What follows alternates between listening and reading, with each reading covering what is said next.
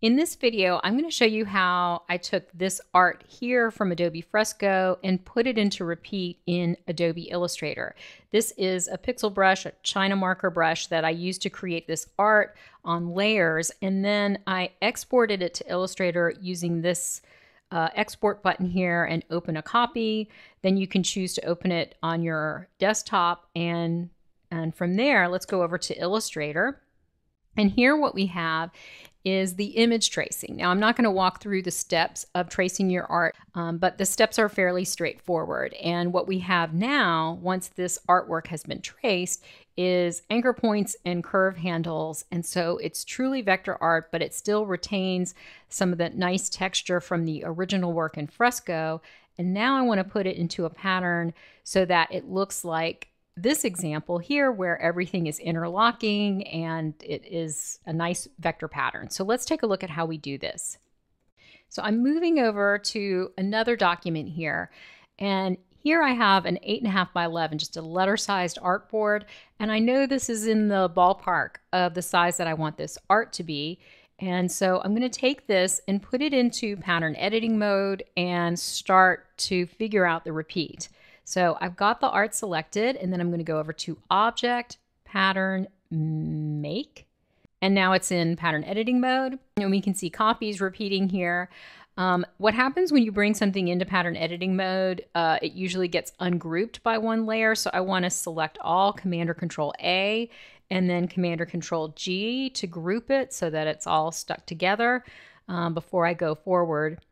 Next thing that I want to do is hide the artboard because it's really distracting seeing the white and the gray background here. So Command or Control Shift H is the shortcut to hide the artboard. Okay, so now that I can see the art here and it is repeating, I want to change this from a grid repeat to a half drop repeat or a, as, as it's known here, a brick by column repeat. So let's go ahead and do that. And then I can use the tile tool here to work with, you know, it's just like bounding box handles, moving this in to close up some of those gaps. And then what I'm going to see here is overlap that eventually I'm going to need to trim off. And the problem that we have with pattern editing mode is that, you know, the tool that I like to use, especially for art like this, is the eraser tool, which does not work in pattern editing mode, unfortunately. So what I'm doing right now is I'm going to set this repeat up just crudely in pattern editing mode. Then I'm going to go move out to the artboard and kind of recreate what I have here in pattern editing mode so that I have all the tools that I need to do the editing that I need to do. So that's the process that we're going to work through here. So at this moment, I'm going to, I've got that tile tool on. Let me turn that off and look over here at the width and height. And this is something that's part of why I'm setting this up now inside a pattern editing mode. What I want is a nice round uh, dimension here for the width and the height because it's going to make it easier for me to work with when I go out to the artboard. So this is 7.9 by 11.2. Making sure I unlink the width and height. I'm going to change this to 8 inches because it's so close to 8 inches. And 11, let's see what happens when I make this 11. Um, I think that I've got so much of a gap down here that I'm going to squish this up a, a bit. So I'm going back to the tile tool. I'm going to just move that up somewhat and uh, let me try here again. I'm going back, uh, turning off the pattern tile tool and see if I can do 8 by 10. Um, and so at that size, I know that I've got something regular that I can use out on the artboard, which you'll see in a minute. And then also I have overlap here so I can see what might need to be trimmed. And there is probably places that I'm going to have to add a little bit of artwork here. Let's see if I make this just a little bit bigger to fill in that gap. And all right, this looks like it might work. Um, okay, so what I'm going to do is exit pattern editing mode, saving this art just by clicking on this arrow here. And now I'll move the original off to the side. Then I'll go into the swatches panel where I have the pattern fill swatch that I just created, and I'll drag this out to the artboard. And what this is is my, you know, original art basically. Um, but you can see if I look at this in outline mode, this is the no fill, no stroke bounding shape that's created when your pattern is moved from pattern editing mode into the swatches panel. And it's such a wide rectangle here, and we can see the dimensions at the top control bar 16 inches by 10 inches. So, really, what this is is the same height of the tile that we had in pattern editing mode, but the width is doubled, went from 8 to 16 inches. And that's because uh, Illustrator is translating that what was a half drop repeat tile into a full drop or a regular grid repeat because that's the only way that pattern uh, fill swatches can tile in Illustrator. So um, I need to shrink this back down to the 8 by 10 um, in order to work with it like I'm working inside pattern editing mode. So with that selected, let me go ahead and give it, let's give it a really bright color here. Go back um, into uh, preview and now I can see that I've made that kind of magenta shape there so I can see it better. The next step is to shrink it down. So I'm going to make sure that I have my center reference point checked so the box will shrink towards the center where my central motif is. And then I'll change, got to have these two unlocked to do them out of proportion because I want to keep the 10 inch height, but I do want to change this to an 8 inch width. And when I do that, you can see the box now shrinks down to 8 inches. Great. Now, all of this art here there's some of it in the center that I want to keep and all the extra around the edges I want to get rid of. And it's all grouped here. So let me ungroup it and I'll just get rid of all of these are the this is the artwork that Illustrator places in here to make that rectangle repeat work. Since it's been translated from a half drop to a full drop and we don't need that art. We only need this central motif, the original motif I started with, and I need it arranged with that tile just like it was in pattern editing mode. Only now I'm out, out on the artboard and I can use the tools that I need uh, to do the, the editing that I need to do. The first thing I want to do is set the keyboard increment because I'm going to be doing a lot of nudging with my arrow keys. So to do this, go Command or Control K, that's preferences. And then right here, you can set your keyboard increment. So this is why I wanted that 8 by 10, that nice regular uh, dimension there so it will be easy for me to do the nudging that I need to do out here. So the keyboard increment is set to one inch. Click OK. So now let's nudge this. When you hold down the shift key, you multiply that keyboard increment by 10. So that'll give us 10 inches and we know the height of this tile is 10 inches. So I'm going to hold shift. Oh wait, first copy, copy, paste in front, Commander Control C, Commander Control F, and then hold shift and nudge it up. And then do the same thing, copy paste in front, and then hold shift and nudge it down. So now I've got the vertical repeat here and I'm changing the color of the artwork so that it's easier to see. And let's go ahead and I'll put this in the back. Now, when I do the sides, there's going to be a, a drop of half of this height, which is now 10 inches. So the half drop will be five inches. So I'll take all of this art here, okay, copy paste in front, Commander Control C, Commander Control F, and this time I got to nudge it eight inches. So one, two, three, four, five, six, seven, eight, and then down one, two, three, four, five. So if you knew you were working in these dimensions and you wanted to, you could set up actions to make that go pretty fast. Um, but I'm just you know, I'm I'm used to nudging, especially when I'm not making a video and I'm working myself. I can do this pretty fast. So then I'm going to uh, get this over to the other side. So copy, paste in front all three of those uh, repeats there and go one, two, three, four, five, six, seven, eight. One, two, three, four, five, six, seven, eight. Okay. So now I see my, you know, central motif with all the art around it. Um, and so I know what I need to trim off. And one of the things that's important here is that I want this artwork that's crossing the uh, the pink tile boundary, I don't want to trim it flat to this pink line. Otherwise, you'll start to see that. So I want areas where those curves are crossing the line into the other tiles because that's going to help us with this interlocking look. This part right here, you know, I don't want to mess with all of that art that's crossing the boundary there. What I want to do is do a little bit of trimming up here. So I'm going to address just that top, you know, the top and bottom, the vertical repeat by working on this top area here. So I'm using the green as kind of showing me where the art is. I'll put that in front so we can really see where it's crossing. Then I'm going to select the black art and use the eraser tool. And the eraser tool only erases what you have selected. That is, uh, let's see, Shift E is the shortcut for the eraser tool. There it is right there in the, in the tool panel. And it works just like a brush. And so what I want to do is trim the black art in such a way that it looks like the where the green art is, it's kind of bumping up against that. So I'm going to trim off all of this stuff here. You'll see when I release, only the black gets trimmed because it's selected and this is how the eraser tool works, which is great.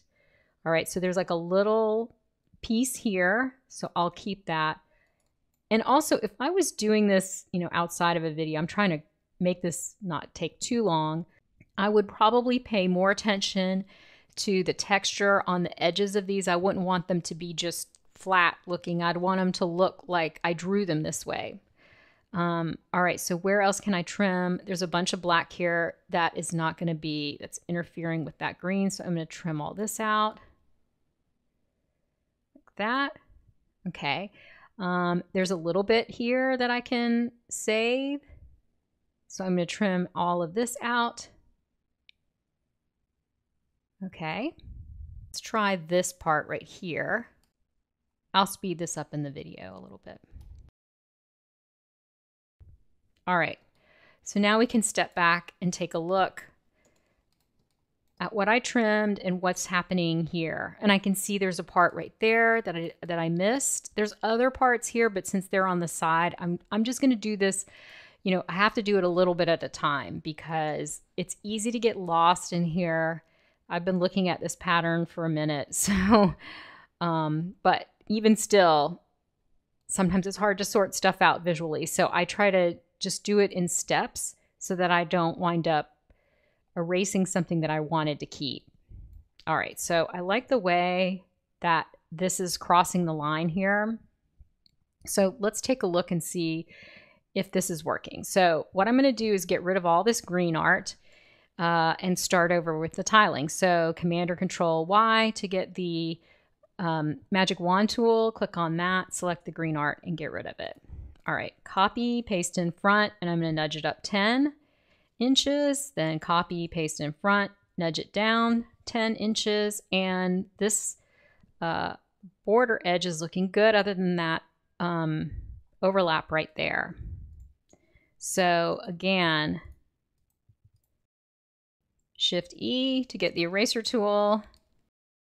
And I'll speed this up. Okay, maybe I'll put a little piece in there to make that work better, but for now, let's just say that's good. Copy, paste in front. I'm just gonna retile it out so I can say that, all right, I think I've got that one close. I'm, I'm gonna have to fix that patch in there. All right, so now let's work on the sides. Uh, again, I wanna just change this to a color here and um, copy, paste in front, and move it eight. One, two, three, four, five, six, seven, eight, because that's the width of the tile. And then copy, paste in front. Uh, I'm going to go down by 10 for that. And then I'm going to take all three of these and move them down the half drop, five inches. One, two, three, four, five.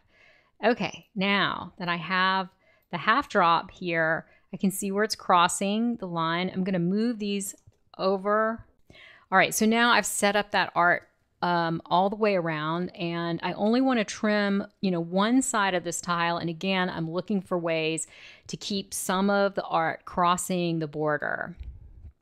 And I'm going to be trimming the black art with my eraser tool. So let's see. I really, you know, that art right there, crossing the border, that's a really nice curve. So I want to get rid of that other thing that's coming in there in the green and interfering with it. But I have to find it over here. You see, it's the same thing. This part that's coming in here is this part that's coming in here. So I'm going to trim away that black so I can preserve this nice curvy shape here. Shift E to get the eraser tool and then just continue on erasing. Here I am speeding the, us up through the process so you don't have to watch every little bit of it because it does take time to do this. And then I'm speeding you through the process of tiling this out since we've done that before. And that way I can check and make sure everything's looking the way I want it to. Okay, so now we can see just a little bit of overlap left that needs to be addressed, but I do see that art is crossing the bounding shape. This, I like the way this is crossing here and it's interfering with this green art here. So this, I wanna keep that and I wanna trim this. And that art in black is right down here in the corner. Um, so, and you just always have to look because, you know, on the edges, everything is gone down by a half. So what I want to do is, you know, trim the black away so it doesn't interfere with this shape here. So I'm speeding this part of the video up. Okay, zooming out and I'm seeing that's looking better. So again, magic wand tool, quickly erase all of that stuff so I can tile it out again. And while we're speeding through this part, go ahead and subscribe to my email newsletter. I send out Illustrator tips on a regular basis, and that link is in the description for this video. All right, so it's looking, I don't see the black and the green overlapping. Only like right there, there's a tiny little bit of maybe it's getting too close. So Shift E, just you know, so it doesn't look quite, you know, that um, perfectly trimmed there. It has to look like I drew it. Um, and then I think there is a gap. Let's see, this piece right here, uh, I want it to be thinner, like that. And then um, I need another piece here. So I'm going to go into outline. I'm sorry, I'm going to go into uh, isolation mode, double click, and I'm going to option drag out a copy of that. And, you know, just try and mess it up a little bit so that it doesn't look like an exact copy of that. And I might spend a little more time on that or I might grab something from somewhere else, but that's pretty good. Okay, so I've done a little more fixing and now I'm ready to take this into pattern editing mode. So I'm going to select it and then go object and pattern make. Here we are, and we know this is a half drop, and we also know the tile size. That is 8 tab by 10 inches. So now we have that tile size, and I see a flaw here. I think it's because the art became ungrouped, as it always does. So I'm going to go Command or Control A to select all, and then Command or Control G to group it, and that's good. I'm seeing what the art should look like, and when I back out, it looks like it's repeating fairly well. And it's got that nice interlocking look that I wanted. I definitely see a few things that I would tweak, but for the most part, it's looking good. So that's how you can get around the limitations in pattern editing mode just by moving out to the artboard. And I know it seems like a long and tedious process, but actually, when you're not also trying to make a video. It doesn't take that long to do it. And frankly, it's just nice to be working on the artboard where every single one of the tools and brushes and all those things work well and just use pattern editing mode for what it does really well, which is give you sort of that way of setting up your pattern, getting it to look the way you want it, and then just do that deep editing that you need to do out on the artboard. So I hope this has been a helpful video for you. My name is Laura Coyle. I teach Adobe Illustrator online on my YouTube channel and in my courses membership at lauracoylecreative.com. And thank you so much for watching.